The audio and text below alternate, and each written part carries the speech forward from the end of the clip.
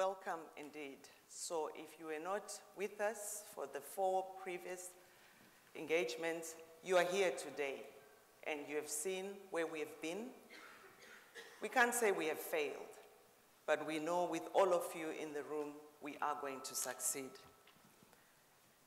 It gives me pleasure now to introduce you to our guest of honor, His Excellency Fahad bin Mohammed Al Attiyah. He was appointed chairman of the Qatar National Food Security Program in year 2008. His Excellency Al Attiyah is the legal counsel to the Office of the Heir Apparent at the Emiri Diwanto and sits on the Legislation Council of Qatar.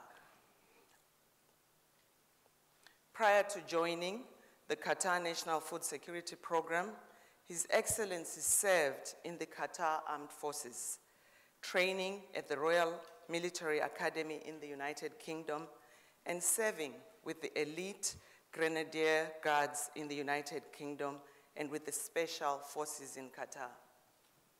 His Excellency Al Attiyah read law at Westminster University and attended his legal practice course at BPP Law School in London.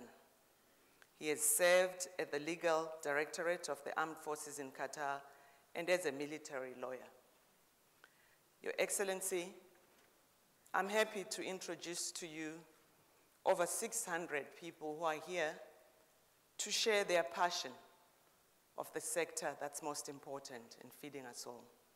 But more than the 600 people who are here, we have over 6,500 people following us on Twitter. The audience is real and virtual, and Your Excellency, this is your time.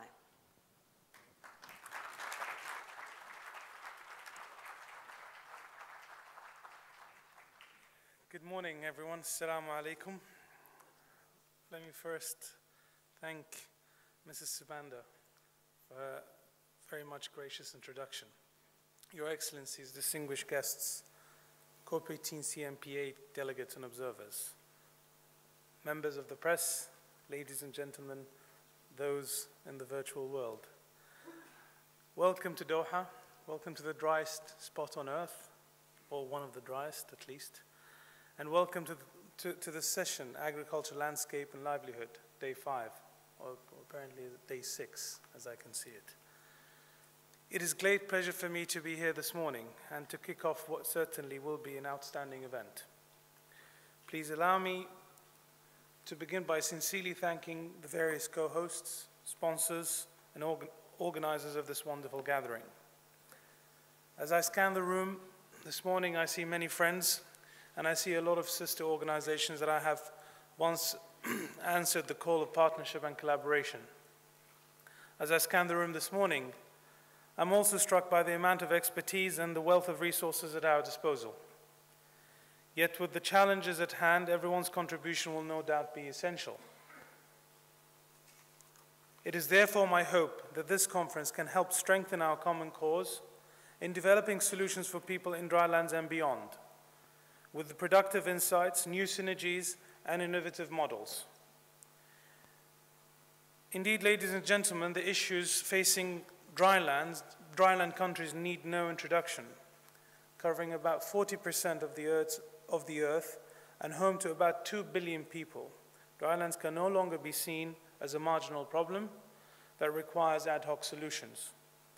In fact, what dryland countries need is much more political attention and an even greater amount of technical innovation. What dryland country needs is tailored solutions at the local level, integrated systems at regional level, and, at, and collaborative models at an international level. And so this morning I would like to talk to you about two initiatives that are very close to my heart, which aside from COP18 have kept me quite busy over the past couple of years. First, the Qatar National Food Security Program, and the second one is the Global Dryland Alliance. To the Qatar National Food Security Program, it was established in 2008 by His Highness Sheikh Tamim bin Hamad Al Thani, the heir apparent of the State of Qatar.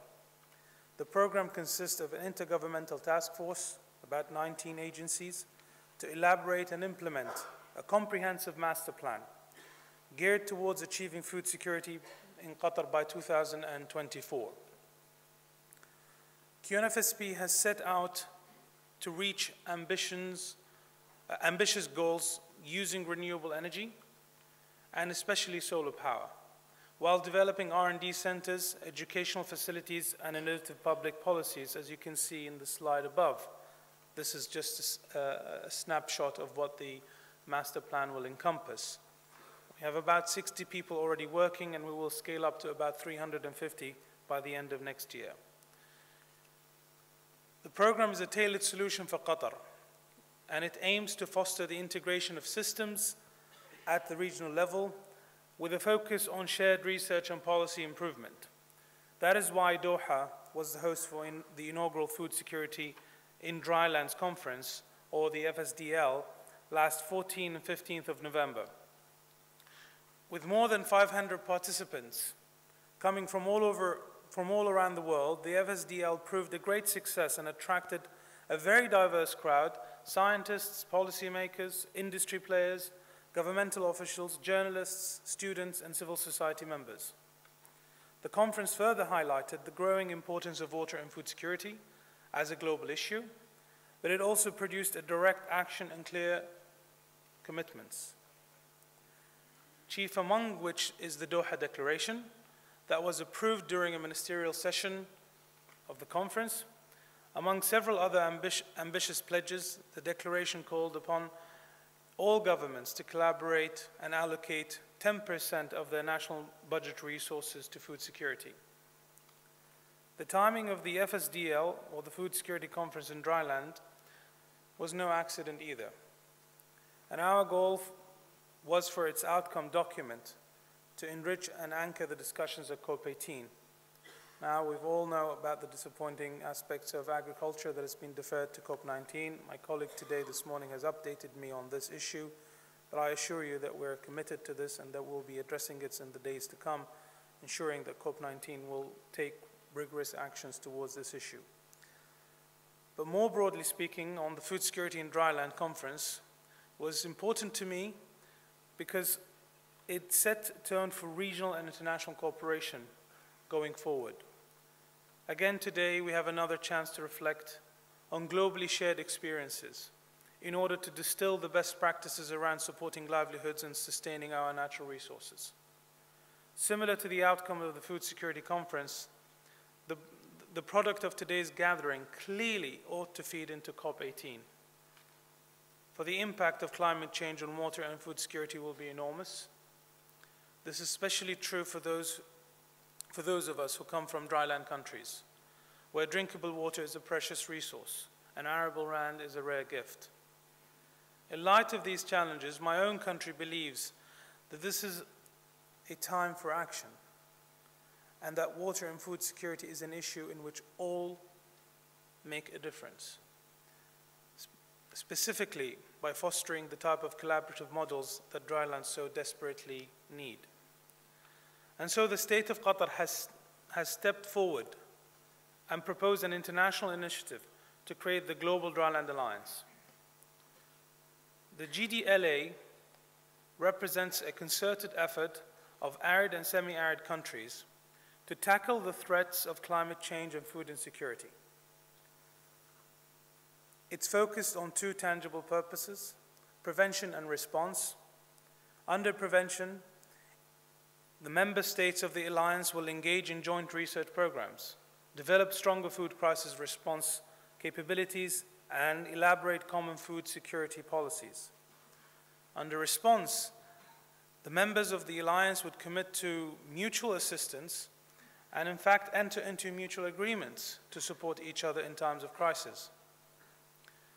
In pursuit of this vision, the GDLA will first center around potential member states and I'm delighted to report that 15 countries have already answered the call. But we will also look into multilateral entities and research institutions like FAO, IFAD, the World Bank, the IDB, and the CGIAR system, and others to promote the concept and to build strong partnerships toward our common goal. In doing so, the GDLA's job also will be to contribute a vision for a new type of multilateralism what I call the multilateralism of the 21st century. A multilateralism that is tailored, needs-based, and reactive and voluntary, but also, but also a multilateralism that is representative and inclusive of all perspectives, North and South, developed and developing, public and private, research-based as well as implementation-focused, governmental and non-governmental. In a nutshell, a type of consortium that is not unlike the spirit animating us this morning, and from which much is to be learned. Ladies and gentlemen, please allow me to reiterate what a pleasure it is to be with you this morning and to be part of such a distinguished gathering. I wish you all a very productive and insightful day, and I very, I very much look forward to the conclusions of our collective work. There's a Greek proverb, Greek proverb which says, a society grows, society grows great when an old man plants trees whose shade they know they shall never sit in. This is what we are trying to do here in Qatar and beyond our borders. And I believe this is precisely what all this event is all about.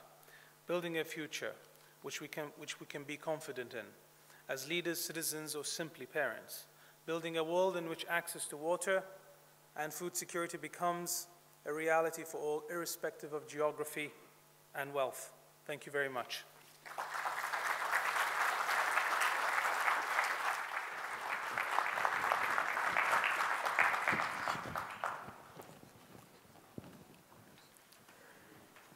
Excellency, we have heard you. The semi-arid and the arid countries have a voice. Food security is about water and agriculture. You have formed a coalition, a coalition that will be proactive, but also responsive. And you are calling upon the whole world to join forces because we have to be in it together. We are all in it. Thank you very much for sharing with, you, with us your passion and the footsteps you have taken. But I want to believe the people who are here will commit to making sure we get to the destination together. Thank you. Ladies and gentlemen, we now move on to the next session. This is the high-level panel that's going to take us on a journey that looks forward. We want to identify scalable solutions. We want to talk about the gaps in our knowledge, the trade-offs that we have to make in addressing climate change impacts for agriculture, landscapes, and livelihoods. Panelists, please take the floor. I have with me four distinguished panelists whom I'm going to introduce as they come up.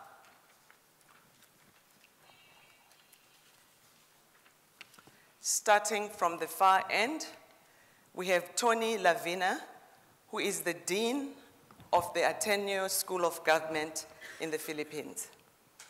Tony is a veteran negotiator of climate and land use issues, having participated in UNFCCC processes since COP1 in Berlin. He has also chaired the LULUCF negotiations in Kyoto in 1997 and the REDD Plus negotiations in Copenhagen and last year in Durban. He's based in the Philippines and is a member of the Philippine delegation here at the COP. Welcome, Tony. Next to Tony, we have Professor Judi Wakhungu, who is the Executive Director of the African Center for Technology Studies, ACTS, a Nairobi-based international intergovernmental science technology, and environmental policy think tank, which works on generating and disseminating new knowledge through policy analysis, capacity building, and outreach. Since 2011, she has served with 12 other eminent scientists from around the world on the Commission on Sustainable Agriculture and Climate Change, which was sponsored by the CGIAR CCAFS program and the Global Donor Platform for Rural Development. Welcome, Professor Wakhungu. Third, we have Dr. Mahmoud El Solh, the Director General of ICARDA. He's bringing to us today over 30 years experience in international agriculture research and development in developing countries, particularly in the dry areas. He started his profession as a career person with the Ford Foundation as early as 1972. He moved on to ICARDA, then the American University in Beirut, and FAO before coming back to ICARDA and taking up the position of Director General in 2006. Dr. El Solh has in-depth knowledge of the needs and aspirations of the National Agriculture Research and Development Systems in non-tropical dry areas and brings to us a wealth of experience on food security, poverty reduction through agriculture. Welcome, sir. Ahlan wa sahlan. And finally, we have a farmer. Robert Carlson is currently the president of the World Farmers Organization, a grouping that brings over 50 farmer organizations worldwide, but he's also the vice president of the International Relations for the National Farmers Union in the United States of America. He has extensive experience in farming systems around the world and is actively engaged in international processes such as the one we recently held in Rio Plus 20 in, Bra in Brazil. Mr. Carlson brings a particular passion and interest focusing on the issue of family farms, both as a farmer and also as an active advocate. Welcome to my panelists. Please relax and take us on a journey. We are all here to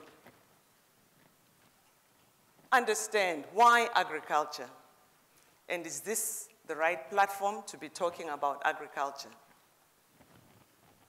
You've spent all your life farming. Why agriculture and why here? Why couldn't you be at your farm? Why come all the way from the United States just to come and talk about agriculture here? Why?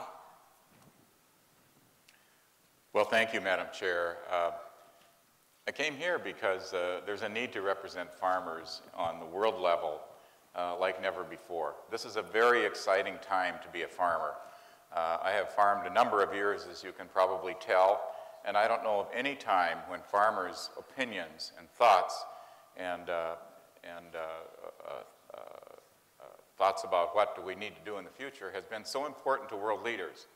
And why is that? It's not because people are suddenly in love with the rural lifestyle or with farmers.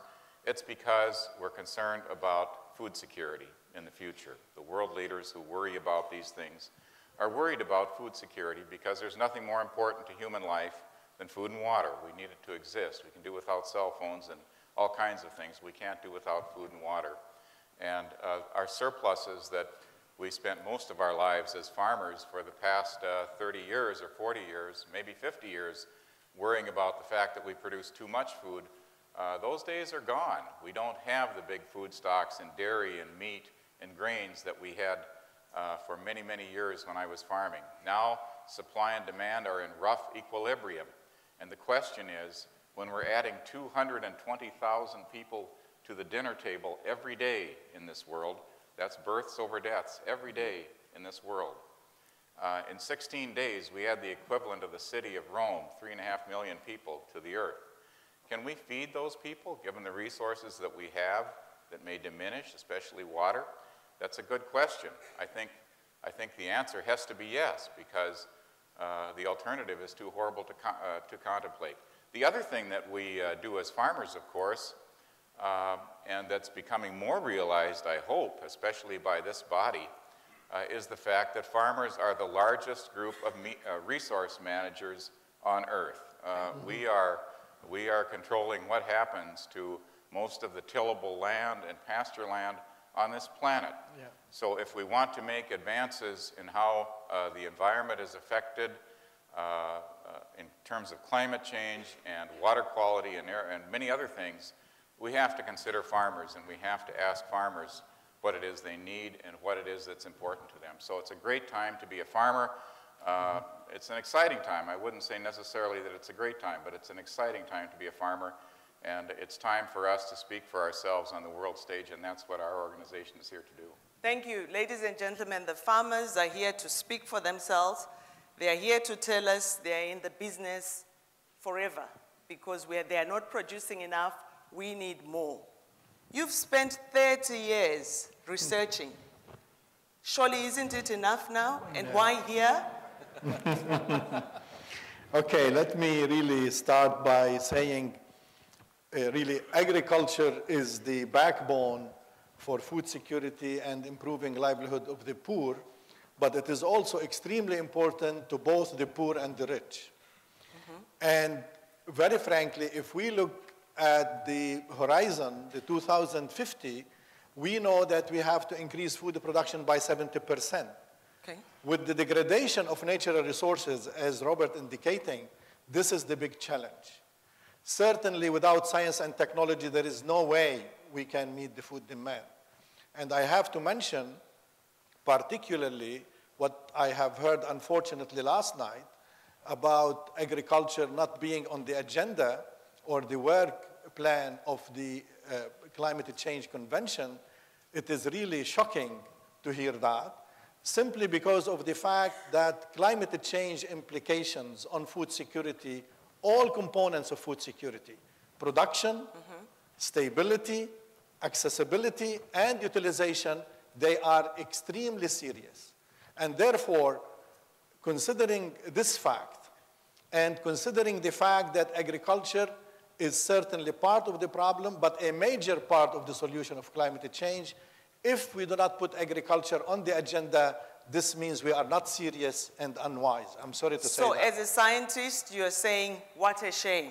Exactly. What a waste of time. It- and the fact that we already, as has been mentioned by His Excellency, you know, Sheikh Fahd Al-Atiyah, we can certainly combine also mitigation along with adaptation. If in agriculture, we work on adaptation and production system resilience in, in dry areas and beyond. And both of these have direct implications of mitigation. Yep. Think about the vast areas of rangelands. If we take only Central Asia and the Caucasus, you have 400 million hectares of rangelands, which are really degraded. And if we really rehabilitate those and stop degradation, including the issue of land degradation, I think you will be creating a major sink which is extremely important for climate change. So I know politics is always there, but I think at the end of the day, we have to think about the global interest rather than an individual country interest for economic and otherwise. I'm Thank sorry you. to say that. Tony, the scientists say what you are doing as negotiators is haram. You cannot be playing games with us. You boast of having been there at COP1 in Berlin. Two, three, four, five, six. Where are you taking us to? Do you want us to get to COP 100? Without ah. agriculture, without food, without water? Are you killing us? What is the problem with the negotiation process? Why can't we talk about people and life? I'm not sure if I'm boast about being there now in uh, COP number one, or that makes me a fossil among negotiators. Uh, there's probably like 50 of us left from, from COP uh, one. But I was very young when I started. I was, I was, I was actually a doctoral We, we student. excuse you. Let's Uh, start from but, COP 15 Uh, then. No, no, but, but there's a history behind all of this. Uh, and it's not a justification because there is no justification for not doing it now. Okay. But the history simply is that the Climate Change Convention in Rio was not seen as a land use, agriculture, or even a forest uh, convention. It was seen essentially about industrial gases. And very few understood then, even if in principle we knew that uh, a comprehensive approach to climate change was necessary. And it's in the convention, actually, from the very beginning but very few understood uh, the role of forests, the role of agriculture, the role of soils in, in all of this. Uh, it takes an average for a land use uh, agenda to be included in the COP. It takes an average of three to five years to put it in. Who sets, who sets the three to five years? Just educate us so that we can find a shortcut. the, first, it has to come from places like this, uh, like the, the all day, to push the agenda forward. Then some countries take it on and champion it uh, and convince the other countries. But part of the process that then there are concerns, but what are we talking about when we talk about agriculture? We're talking about trade, for example. That's the, that's the elephant in the room here right now in, in the substance negotiations. People are afraid that this becomes a trade. You know, what, the approach to agriculture will be about trade rather than about adaptation uh, and, and, and mitigation. So uh, what happens here is uh, uh, you need to, and, and this is sort of look, look, looking forward, uh, you have to be very, very clear about what an agriculture uh, uh, program would be under the, the, the SBSTA. You look at the draft text right now, it's very delicate negotiations going on. I mean, essentially, the, the, the SBSTA decision is to bring it back to SBSTA. I actually didn't realize that SBSTA is now like a limbo, a purgatory, where if you can't decide on something, you just give it, give it back to, Yeah. to, to, to. But Tony, that's why we think we are playing games, because we're saying this is the right platform to be pushing. But also in our own countries, we need to be talking. We heard His Excellency, the efforts that are being done, not just in one country. 19 countries have signed on, just as semi-arid and arid. But the whole world is affected. Who are these people that we need to educate? Is it this audience? No, it's the political leaders, actually. And in this stage of the COP, it's the political leaders that have to be brought on board uh, to make this their priority. I can tell you the analogy of this is forest, of course. I mean, I, I, I chaired LULUCF in, in 1997 in Kyoto. It took three years to get it in the agenda, and a very, very limited opening at that. And then it took REDD five years to actually get into the agenda uh, and finally get into the whole, whole, whole process. But that required convincing enough political leaders, enough ministers in this, in this context to make this their priority, their number one priority, where they cannot walk out and go home to, the conf- to, their, to their homes without a, a SBSTA or without an agriculture agenda. Thank you very much. The negotiator is saying it's our politicians. I'll come to you, the audience. I'm sure there are politicians who can help us unravel this puzzle. I am puzzled. Professor, is this the right place or should we be looking elsewhere? Because really, Tony says it takes three to five years. From the video, we started Copenhagen. So we've, we've matured. We are five years today. Do we need six years? Are we changing the rules of the game? It's no longer three to five years? No, I think, I think, I think you needed there. I would have thought last week we would have made it. I didn't understand. We didn't. Yeah, so that means you, you know, I mean, I, I think, I think we have experiences of, of uh, the other issues as well that takes, you know, but, but there's still another week left, and the Qatari leadership is very important for this. We've got one week left, but Professor, is this the right place? Are there other opportunities? Where should we be looking? Because it looks like, yes, we will do it here, but we've heard about the political climate that no- may not be too conducive. Where else do we look up to? I think we have to look everywhere and look at all opportunities that we have, especially if you look at agriculture mm-hmm. and food security holistically. People don't live in sectors, they don't live in departments, mm-hmm. they live holistically. And this is definitely the right place uh, because our policymakers are here, the scientists are here, the technicians are here, the inventors are here, the farmers are here. This is definitely the right place. It's also the right place because I have a very difficult job and I'm always under stress because our policymakers want solutions. They want to know what is the best science, what is the best technology, and what is it that we can do to alleviate some of these uh, problems. And also, there's a lot that's happening in so many different arenas, whether it is here, whether it's G8, whether it's G20.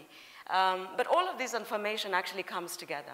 And if we look at it in terms of our own livelihoods and trying to make a difference, we need to work collaboratively to bring all this expert information to bear and then to make holistic decisions about how we can solve problems. This is not about developing your own particular discipline. Yeah. This is about solving very, very difficult issues that we face. Professor says we need to stay on board even if it's year five. Are there other platforms that we should be using? We are now clear who our target is. Governments, politicians, we need to make sure we tame them and hold them to account. Anyone from the audience who wants to give us quick wisdom in terms of where we should be looking? Jerry Nelson? wisdom. Another body that I think uh, need another body that I think has already spoken and needs the, the delegates at the UNFCCC needs to listen to them is the CFS. It's the Committee on World Food Security, which is a body that consists both of 110 or so countries, but also representatives from, CF, from civil society, from the research community, from international organizations in the private sector. That body, there will be a report presented later this afternoon. I was chair of the writing team that prepared that report, and the, and the delegates to the 30, the most recent CFS meeting um, passed on that report to the UNFCCC, asking them to take it into consideration as they consider their discussions on uh, food security and climate change and agriculture as part of SBSTA. And I know that it was introduced briefly at the beginning of the SBSTA discussions. Apparently it wasn't terribly successful in influencing the outcome, and I'm hoping we can do something about that later. Thanks. Thank you very much, Dr. Nelson. So yes, one burning one quickly before we move on and back to our panel. I'm just doing this, ladies and gentlemen, because we are short on time and I don't want you to tweet that I have not given you time, so I'm attending to you.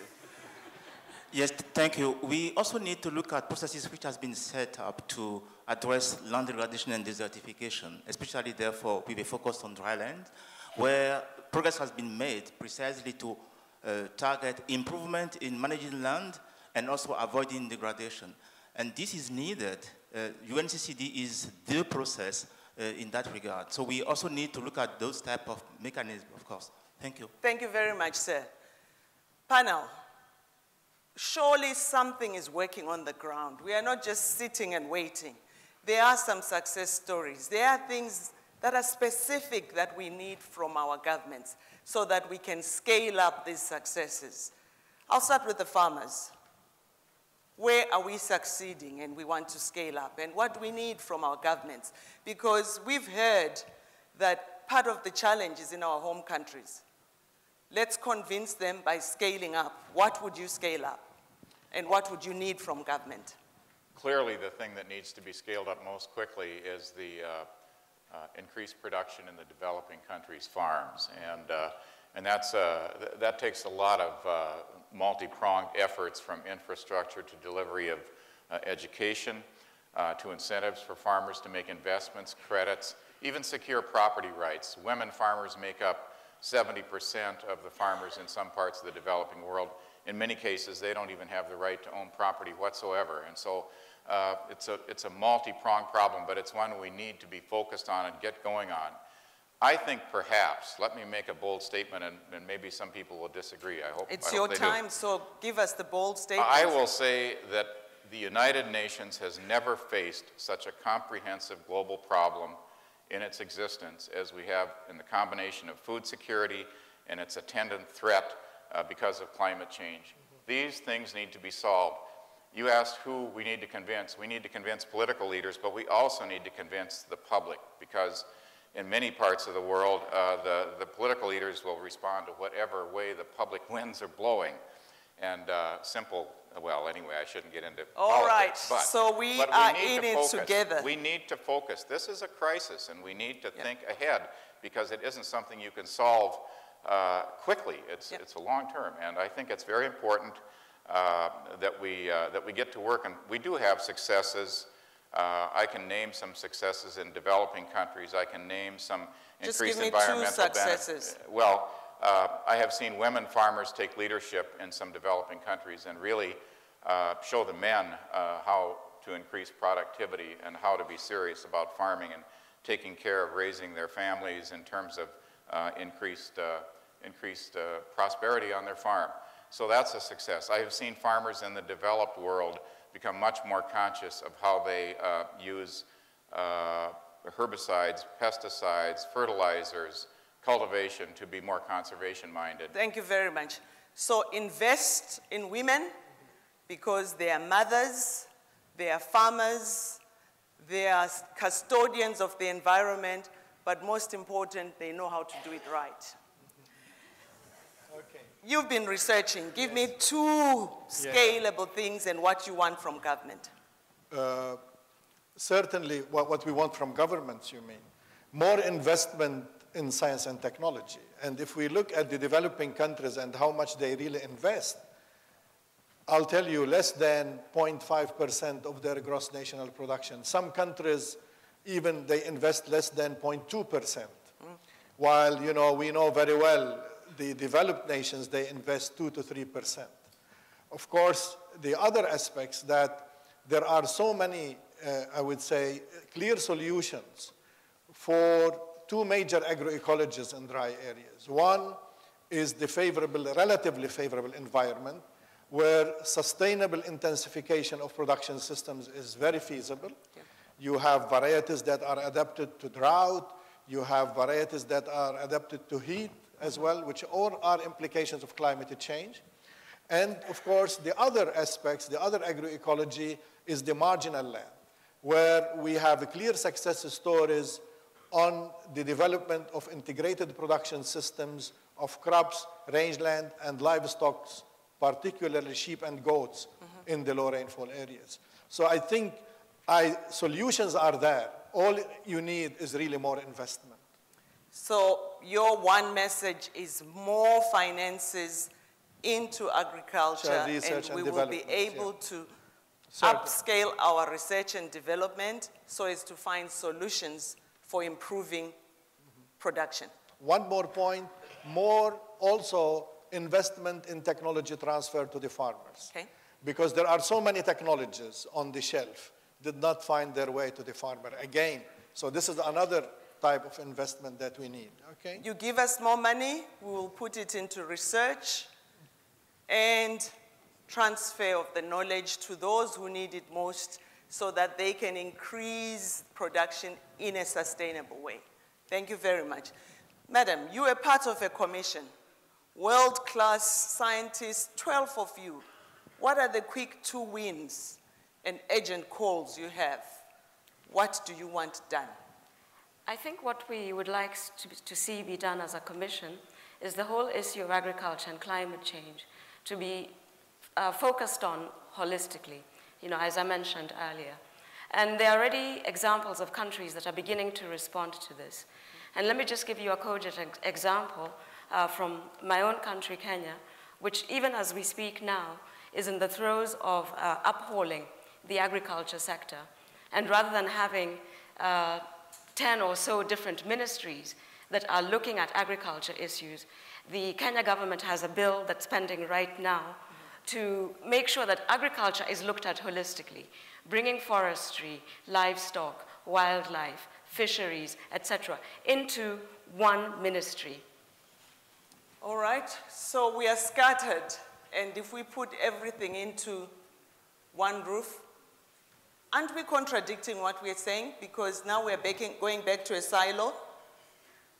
Just unpack for us what this will no, we're, do. we're actually, we're not actually, we're trying to avoid the silo-specific perspective. This is exactly what we are trying to do by, by forcing livestock uh, experts to talk to actually the crop experts, which they don't like to do, as you know. Professor says we are not talking to each other as scientists, as policymakers, because we create these boundaries that see the environment away from agriculture, and yet we talk food security, being safeguarding our natural resources to make sure we feed ourselves.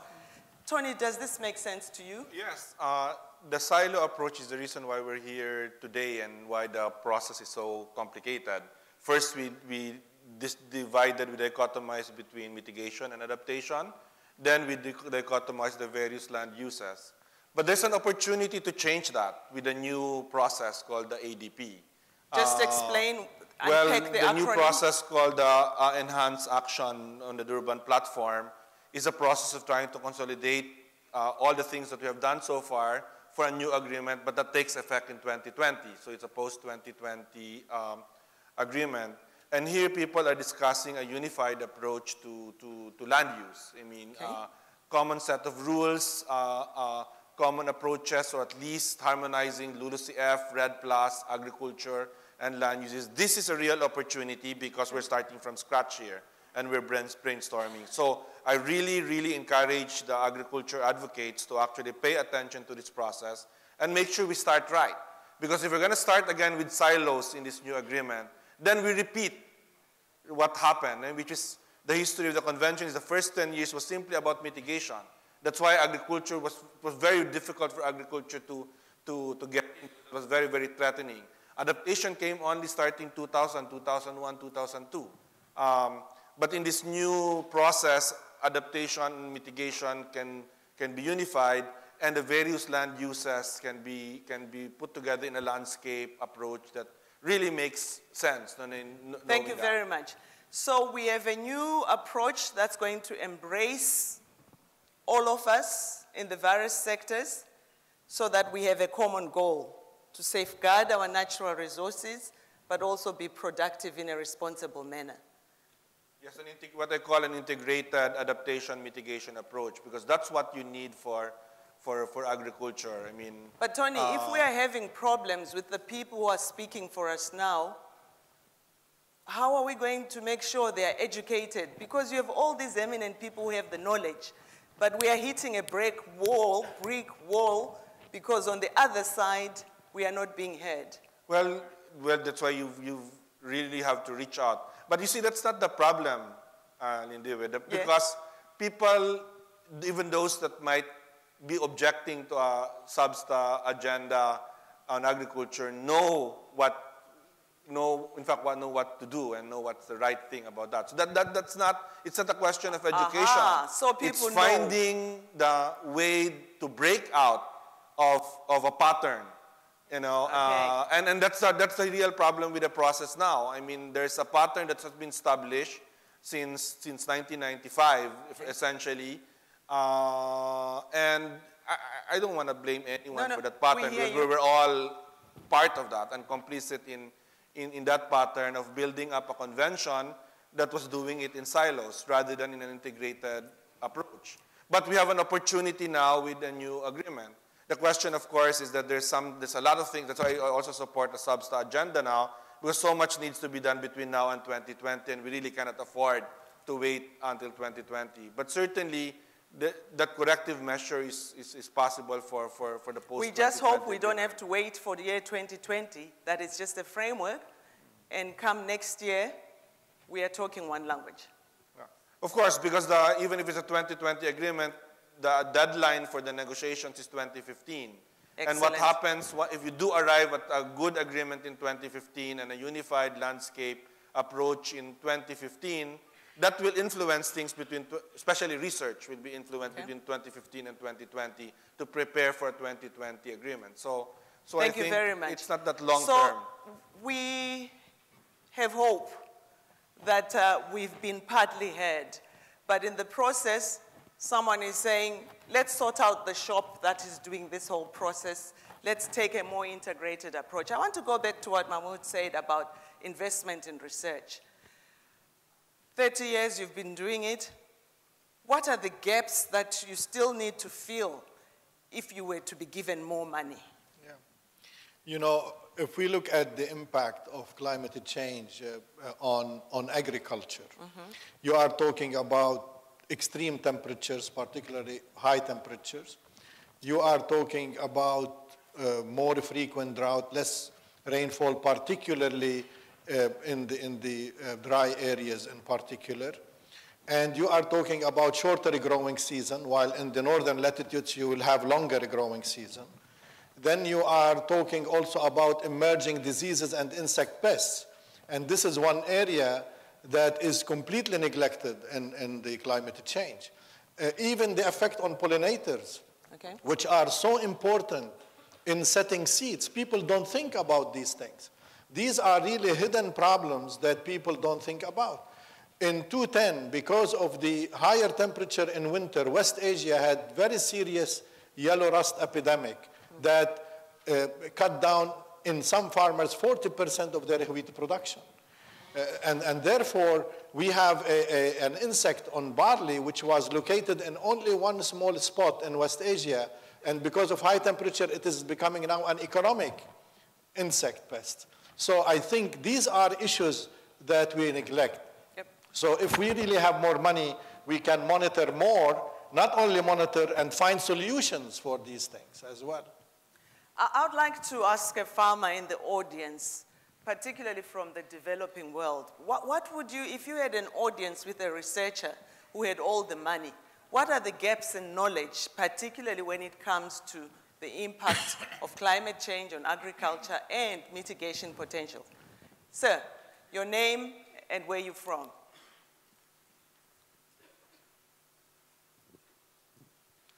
Hello, I'm Pradeep Sharma from India, Central India, uh, Madhya Pradesh. In our area, the farmers are committing suicide because of this climate change and its other problems they are facing. Yeah. The productions are, uh, you know, in lots of trouble.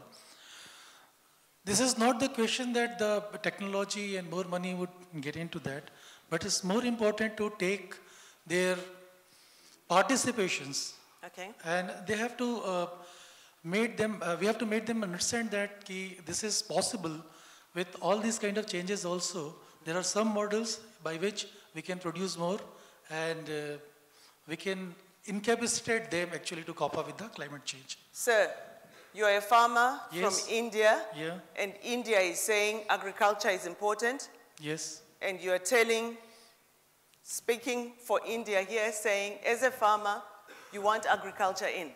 yes of course i want Say it agriculture in. louder. i want agriculture in from Thank you. india Thank you to India. We have to say more in our countries because we've been told that we have to equip the negotiators, but most important, the political leadership. But what's more important is when they come back after the negotiations, let's hold them to account and ask what they said when they were in Qatar. Then we are growing. So next time we meet, I'm back to you, India, for an answer on the report back. What are the trade-offs? We've heard agriculture has solutions, we've heard the gaps, but surely it can't be all win-win. There's got to be some compromises that we, we, we have to make. Professor, what are the trade-offs? Um, there are many trade-offs. I mean, if you look at it from the R&D uh, perspective, as Prof has mentioned uh, here, if we only look at the long-term perspectives and not look at the short-term perspectives, then again, the disenfranchised, uh, more challenged farmers may be overlooked, and that could be a trade-off. Uh, we could also overlook the issues of, that women face you know, as the largest and, you know, probably the most important resource managers or farmers, uh, especially say in the African milieu or the Asian milieu, we tend to talk about the important role that women play, but because they're not sitting in the boardroom, when it comes to really focusing on what we need to provide for them, uh, land rights, you know, for example, we might, you know, forget about them. So that could be uh, another trade-off. Another trade-off could also be, I mean, I'm very concerned about the status of uh, agricultural um, education uh, in our schools, particularly starting from primary school. Again, we could focus mostly at the macro level without really focusing on what do we need to be teaching our children in terms of survival? How do we need to overhaul their curriculum to be more realistic with the future that we face? I like to hear a grounded position from the farmer. What, what we hear win-wins, but surely there's something you need to trade off. What are the trade-offs? I think there are trade-offs to be made um, between uh, food security uh, or more production uh, and environmental benefits, but I don't think there are trade-offs very much between mitigation and, or between adaptation and mitigation because uh, a farmer that adopts techniques that put more carbon in the soil, that add organic matter to the soil, increases the water uptake and storage in the soil, uh, it's good for the environment, captures carbon, it's good for production in the long term. There may be some short period of time, a couple of years, when there's a little less production because of the transition to more sustainable type farming from, over, from uh, what had been many uh, use on, uh, on uh, commercial fertilizers and so forth. But uh, adaptation and mitigation go together very, very well on farms.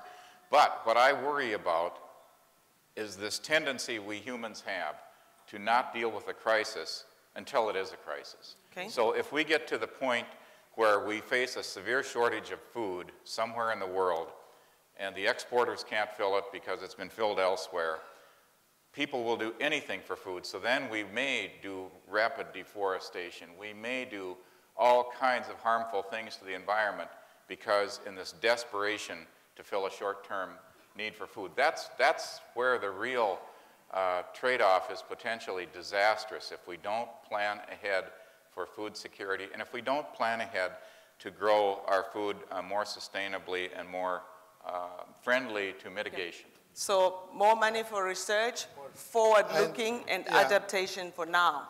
You know, I mean, the future is owned by those who plan for it today. Yeah. Okay, mm-hmm. clearly. And therefore, we are talking about a sustainability dimension, Yeah. including economics dimensions, including social dimensions, Yeah. and environmental Environmental. dimensions. And food security, the sustainable food production takes into consideration all these three sustainable elements. And this is where agriculture and the climate change, you cannot really separate those. And now, I, I, I cannot see the common, there is no common sense. I'm sorry to say, yes, Yep. politics is there, but politicians should have common sense to succeed as leaders. I'm sorry to say that. The scientist is saying it's no brainer. Even anybody can tell you that agriculture, climate change need to talk to each other because we are dealing with the issue of food security.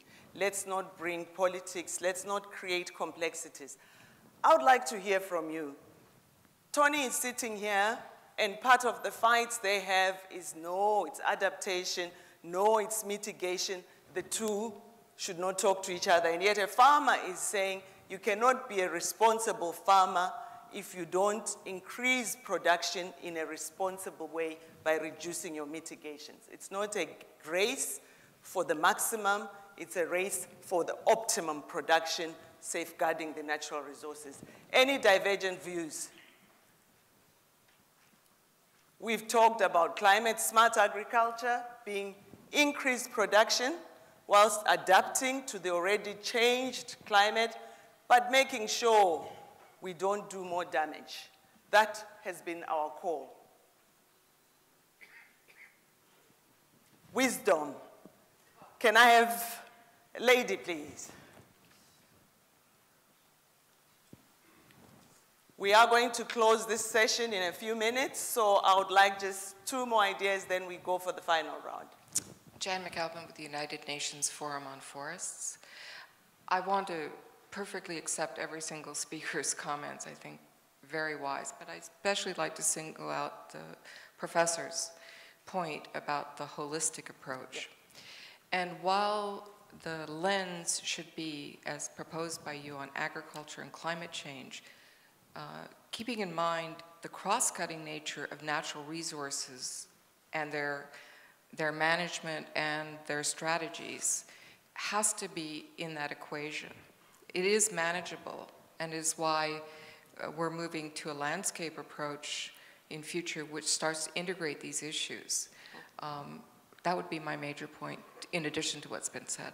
Thank you very much. Integrated, holistic approach that looks at landscapes, and Tony resonates very well with you. Sam. Good morning. Uh, my name is Abbas Zahardin from Lebanon. I live in Barcelona at the Universidad de Barcelona doing my PhD. I want only to add uh, something on social sciences. All right. Uh, because I uh, uh, was listening on to invest in science and technology, perfect, I agree, I, I share Dr. Solh. But at Solh level, at national Solh level, this is Arab word, Yeah. uh, we, we, we say conciliation at national and every national level. We need conciliation. We need uh, trust building. Yeah. We need stakeholder democracy at national level. I'm speaking, I'm not, I don't speak at global or regional or sub-regional. I'm saying that we need at national level something we, we call uh, who's doing what at national level. We need maybe to try with this very small investment to assemble to meet the, every focal point we have at national level. Maybe, maybe this is a crazy idea. I don't know. I No, am, no, we've heard you, I sir. am, I am maybe I am proposing here today if some people here uh, ready to help me to help uh, this idea to try in the future near future if we can meet the national focal point on convention on biodiversity, national focal point on desertification, national focal point on adaptation, maybe Thank we you. will have someone like that, or national focal points, and all the conventions we have at global level. Thank, you. Thank you you very very much. Lebanon is saying, let's start at country level. Let's speak as one voice. Let's not have government and civil society. Let's not have the adaptation family on one side, the mitigation. Let's speak with one voice. It's about food, and we are all in it. And it's about people and trust. Tony, do you trust this gang? Of course. All right. So it means at global level too, we need to be, speak with one voice. I'm going to go to the Twitter community for a while. Sir, can we have the mic just to find out what the 6,500 followers we have out there are saying to us? Uh, thank you, Lindy. Um, you certainly stirred up uh, the uh, online and internet crowd. I have uh, one question which I would like to forward uh, through you to the panel. Uh, when we talk about climate change adaptation and agriculture, um, um, we often see the word carbon markets coming up. So the question is, can carbon markets get smallholder farmers to adopt more sustainable farming practices? I'm looking out to the audience for answers. If you have an answer, put a five up and I'll come up to you. Carbon market. Is that the way you want us to go? Is that the way to go? And are we really being fair to the world? Sir, Um, Good morning, uh, Henry Neufeldt from the World Agroforestry Center, and we will have a roundtable on carbon and climate finance later give today. us an appetizer now. And the main, yes, exactly. The main message would be that carbon markets can support farmers and development on the ground if we have two things. First of all, community-based organizations to connect the farmers to the climate finance. And secondly, it, we have to be aware that the carbon does not pay for the, car, for the farmers. Mm-hmm. The, far, the carbon only pays for the projects, but the farmers get a lot of other benefits, adaptation and development, and particularly food security.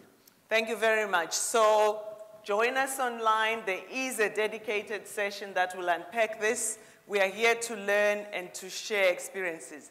There's more questions from the floor, but I'm just left with two minutes, and I love to keep time. I'll hear the questions so that they're on record, and we will answer them in other forum. Just have the mics there. Panel, I'm going to come back to you each for 30 seconds of wisdom.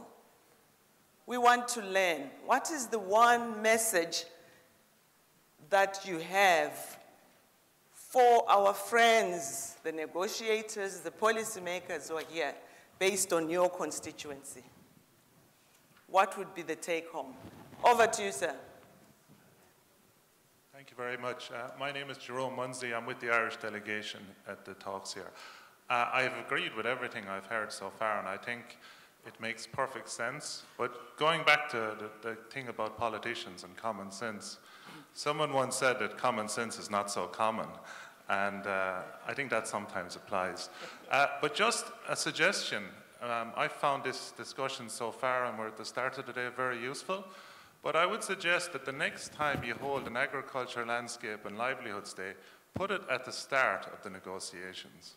Let these ideas filter through before, because at the moment agriculture is blocked. Thank you very but much, But I think sir. it could feed into the thoughts. Thank you. Very good suggestion.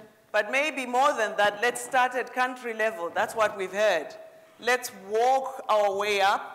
But when we have the landscapes, let's start right at the beginning and share the knowledge. There was one more Ben burning one sir, and then we come to the panel. Thanks very much. Uh, my name is Andrew Wardell from the Center for International Forestry Research in Indonesia. And many thanks to all the panelists. One of the things that worries me is that given the dominance of the climate change narrative, whether in fact we're missing opportunities to look at addressing some of the core underlying problems associated with food production systems around the world. So I had a question to all the panelists. Do we need UNFCCC? Do we need the enhanced action process of the Durban platform to address the problems of food waste? Thank you. All right. I said I'll take those questions, but it's up to the panel to put that. I'm giving them a strict 30 seconds for wisdom. Goodbye, wisdom. Who's going to be first? Yeah, farming first. Farmers, it's your time. Well, thank you, madam. I'll speak quickly because there's only 30 seconds, and I'll try to, try to adhere to that. I would say the main lesson is this. Uh, Our, our friend brought up the issue of, of of waste. Waste is important, uh, and waste that happens at farm storage needs to be addressed clearly. Uh, I won't talk about the plate waste that we have that we throw away every day. That's, that's another issue that involves uh, human beings and how much they want to eat. But uh, I think the main message I would like to leave is this. We can have grand designs, we can engineer the world for climate, try to engineer it for uh, mitigating uh, climate change and for adapt, adapting. Clearly, farmers need to adapt because we're all experiencing a change in climate. But we need to always think that farmers wake up in the morning not worried about global issues, but what's going to happen on their farm. And if we want farmers to be involved in adapting and mitigating, we have to find a way to talk to farmers in a way that uh, convinces them, because it's real, that what we're asking them to do is going to make a difference in their lives, because that's what they care about. Uh, how am I going to take care of my family? How am I going to uh, be able to improve this farm, adapt it, and pass it on to uh, future generations? How can I keep, uh, uh, keep my livelihood together and provide livelihood for others? That's the issue we need to. And I think there's been a gap, uh, Madam Chair, in the fact that with all the grand designs, be it research and so forth, all of it's good, all of it's smart, all of it's needed, but we need to get it to the farmer because they are the ones in control of the land. So the short is uh, the quote by Sir Norman Borlaug, take it to the farmer. Okay, uh, certainly when we come to the uh, food waste, it's a major problem, certainly. You were talking about 35% food waste. But on the production systems, now, the CGIAR, or the Consultative Group for International Agricultural Research, which ICARDA belongs to, we have now a program which we call the, uh, actually, integrated production system in the dry lands uh, for food security and improving livelihood in the dry lands, where the focus is going to be on the production systems, coming back to a holistic approach where we consider natural resource management as a whole. We consider also crop and livestock genetic improvement, and then policy and the socioeconomic dimension. And I think, honestly, without the holistic approach, certainly we are missing a lot. Take it to the farmer, holistic approach. Professor. Um, we're just not here to hold our tough decisions in eloquent debates. We're just not here for that. Uh, the reason I am here is I'd like to see us all become good stewards of the environment and then also to transform livelihoods. I'm not here to just hold a position. Yeah. We want to change, but change in a responsible way for the better. So let's invest in that. What message, sir, are you taking to your friends, the negotiators? Every, every year, actually, in fact, right after I, I get home from, from the December negotiations, uh, I actually teach a course on climate change uh, negotiation. And I, it's a very detailed uh, uh, course where I let my students, give my students instructions on the various countries that they're, they're playing from a perception of what those instructions would have been to, to the countries. And we're trying to anticipate what happens in, in the next uh, conference, so in this case, Warsaw, uh, what will happen in Warsaw given the stalemates that are here. Um, and the students never come to an agreement, right? Uh, for two months, they would keep on fighting. They would, they would keep on. Re- you can close your eyes and you can think. You can actually. You, you would feel like you're in the convention uh, center. But in the last week of the class, uh, I then tell my students, give them written instructions, the same instruction to each student, uh, to each group of students playing countries. Your, this is, comes from your president or your prime minister. Your instructions have completely changed. You can now do the right thing. Yep. And believe it or not, they come to an agreement on everything very fast uh, when they're given the instructions to do the right thing. So that for me is really the, the, the, the message that you should bring. I mean, and how do you incentivize countries and negotiators and policymakers and politicians to do the right thing on, on, on agriculture? And, and it can be done. I mean, I, in LULUCF, coming to Kyoto, we, had, we didn't have a single tax, and we were able to come up with something. In REDD Plus, coming to Copenhagen, I had 100 pages of text, but I was able to reduce that to five pages and get people to, to, to agree. But you have to appeal to people to do the right thing to that. Thank you very much. Ladies and gentlemen, this session was about looking forward. And clearly, the message I'm taking as we look forward is put the farmer first and take it to the farmer, and the it being knowledge. Then the farmer will be a responsible player. Secondly, investment, investment, investment for research and technology transfer but more important, take a holistic approach. From a mother, from a scientist, the issue is it's all about people. We've brought these people on this land. Let's give them a decent lifestyle. We cannot have a world where the poor are the majority. Let's transform those livelihoods.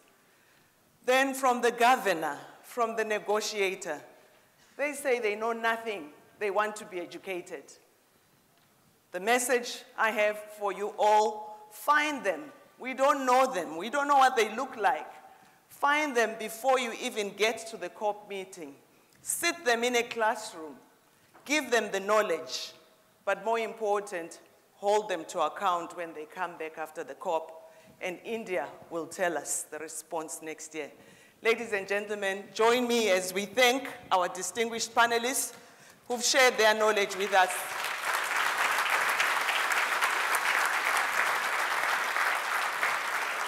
I want to thank you, the audience, plus the online audience that has stayed on with us. But the day is not over yet. We are going to break for tea now, and we've been a bit generous. I've just eaten five minutes into your tea time. Please take everything that you brought into this room with you as you go to the round tables. The round tables will be displayed on the screens. You'll be able to choose. Some of you have already decided where you're going. And note that immediately after the round tables, we're going to break for lunch at 1. We've been very generous with the time for lunch. One and a half hours you've got. Use it to network. But please be back here at 1425 as we prepare for the Ideas Marketplace. Break for tea, take your belongings, go to the round tables and be back here after the grab and go lunch that's being provided at 25 minutes past 2. The session will start promptly at 2.30. Thank you for your patience and thank you for being a good audience. Thank you very much.